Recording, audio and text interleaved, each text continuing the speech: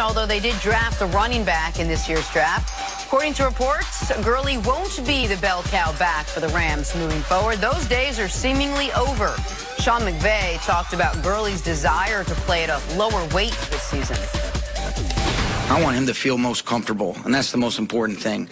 Uh, what he feels like he can function at, be the all-purpose back that he's been, and, and that's that's that's where we're at. So if he says I'd rather play five, ten pounds lighter, um, and he's going to feel better about that, then that's exactly that what we'll do. And, and I think he's earned the right to be able to tell us how he's feeling, um, you know, with a give and take. And, and as long as he's got a why, which I know he does, then you know we're always receptive to those things. See, a lot of us went into the Super Bowl last year and came out of the Super Bowl, rather, not really fully understanding why Todd Gurley was so ineffective. Now we have some semblance of an idea. Mm -hmm. It is that knee that's been bothering him. What, what are fair expectations for Gurley this coming season uh, well, this is the thing. This is what you know. When he misses the type of time that he missed late in the season, when they were playing for what they were playing for, you knew something was wrong with his knee. And it all started week number one, where he had an odd landing on the sideline. And people say, wow, week number one, four months later? Yes, the wear and tear on your body, ultimately, it got the best of him. And you could see from a game planning standpoint, that would be like him in the Super Bowl is like Steph Curry, we're going to play him, he's only going to get five shots. Well, what the heck's wrong with Steph Curry? There would have to be something wrong. And that's what Nick was emphatic about the Super Bowl. There's something wrong with Todd Gurley. We need an answer yeah, he's got a chronic knee. He might have an arthritic knee. But I don't like the fact that now the coach is talking about, oh, we're going to reduce his workload but we just made him the highest paid. It's a because what you do upstairs has to match what they do downstairs. But if he can't, he can't. You made a bad decision. And for me, this is really going to test not Ty Gurley, not Jared Goff. This is going to test Sean McVay.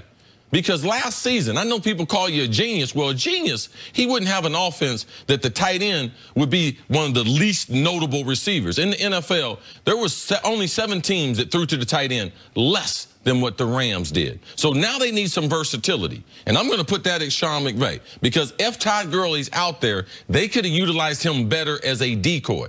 Why would Todd Gurley's absence hurt him? This offense is a speed offense. They're trying to run the ball, run the ball, and then some type of deception to hit you with the big pass. So Todd Gurley's injury, Cooper Kupp at the slot position because they don't have a tight end. So then you could clamp down on the receivers outside.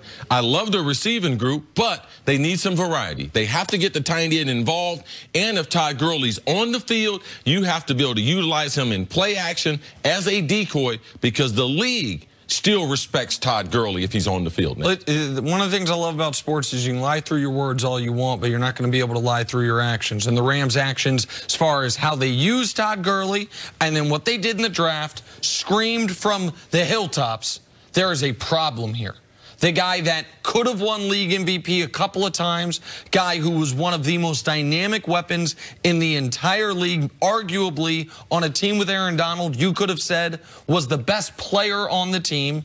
They stopped using him like that. I mean, going back to week 14, 11 carries for 28 yards. Mm -hmm. Week 15, 12 for 48. He then misses two weeks. They get a bye week. He has a month off. Oh, he looks like Todd Gurley again, that first playoff game. 16 for a buck 15.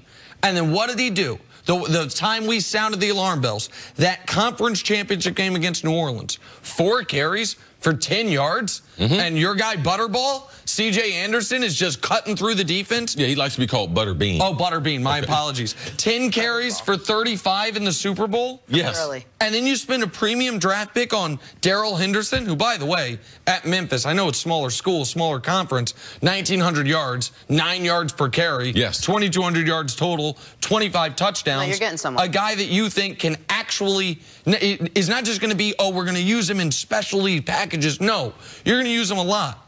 And so I do circle back to the money because this doesn't just impact the Rams' ability to be efficient against their cap.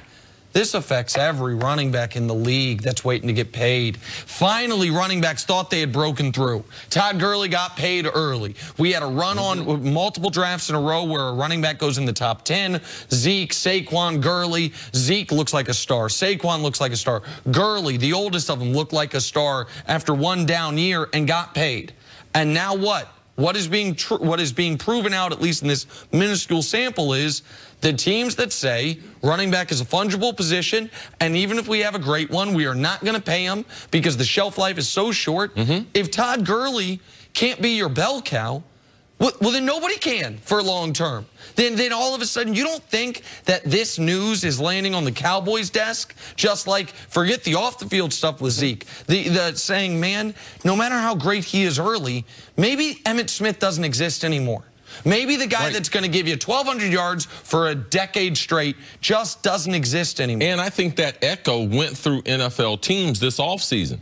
Le'Veon Bell didn't have a bunch of people, people getting ready to pay him, make him the highest paid running back. Like that negotiation that he had was far tougher than he thought after sitting out Absolutely. with the Pittsburgh Steelers. So the message is getting around, Nick. Well, how much worse off are the Rams if they do have to go to a two-back formation than obviously using either Darrell Henderson or someone else they have or trying to squeeze in uh, Todd Gurley? Well, this is the thing, Jenna.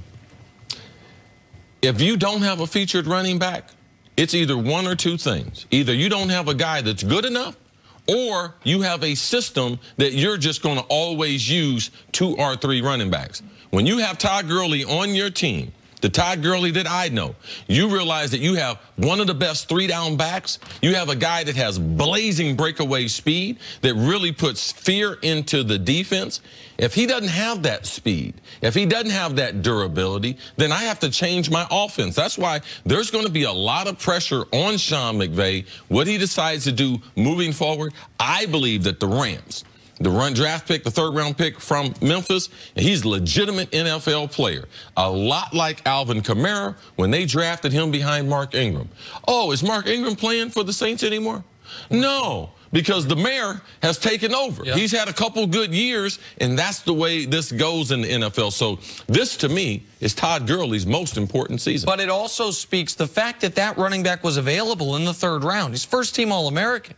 He led the he led the all of college football in yards per touch, and he's available in the third round because people think running back is a position you can find a guy. They mm-hmm. they hesitate to spend high draft picks on him, and this is only going to lead to that more. When you ask what it does to the Rams, what was the signature game of the NFL regular season? 54-51, supposed to be wow. in Mexico yes. City between the Rams mm -hmm. and the Chiefs.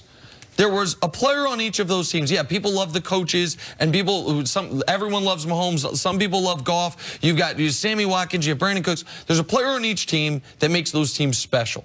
For the Rams, it was Todd Gurley. For the Chiefs, it was Tyreek Hill. For two very different reasons. Both teams have to be thinking long term are we? Are, can these guys not be in our long-term plans anymore at that level? And what does that do to the two most dynamic offenses in football? It, this is. I hope Todd Gurley gets back to being Todd Gurley, but it, it seems like the Rams are coming to the realization that that probably is not going to happen. And it seemed like just that long since he was maybe going to win league MVP. If he's not 100% too, Jenna, I don't believe they have a chance to be a top five offense. I don't believe they're a Super Bowl contender if they're not a top five offense. So a lot of that depends on Todd Gurley and his overall health. All right, you mentioned the Chiefs. We are going to talk about what this coming season will mean for the Chiefs, what they have to do. But coming up on the other side, back to basketball. Is Steph Curry's legacy in question heading into game three of the finals? That's next. Stars leave. There's a